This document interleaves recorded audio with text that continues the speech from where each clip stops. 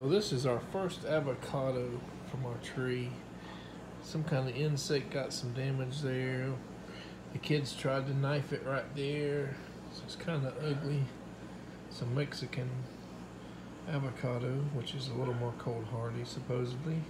And they're supposed to be a little bit smaller than the store-bought avocados.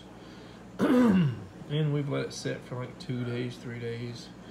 Gonna see if this little ugly thing is any good. So come apart pretty easily. Look at that nice big seed.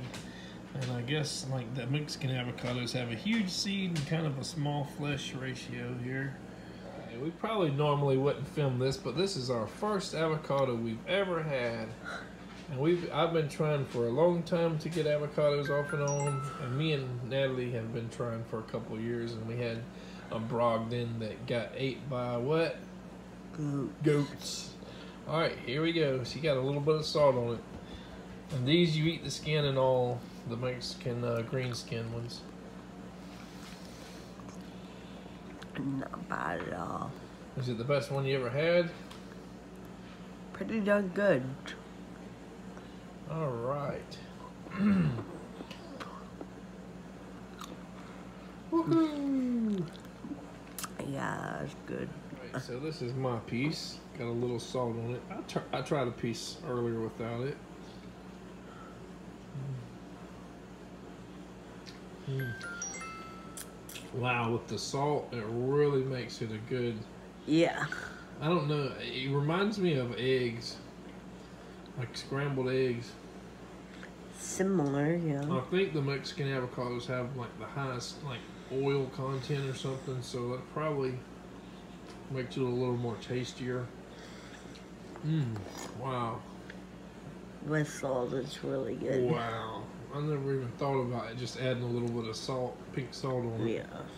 You want another bite, Nelly? There's a little. Yeah, Again, last bite. Wow, that is so that is so different just with salt. I could eat that and like some. I bet you could eat ten of those avocados just in a nothing else in. Oh, that's so good. Like, mush some up, hmm garlic and salt, and do it on one of the blue tortillas.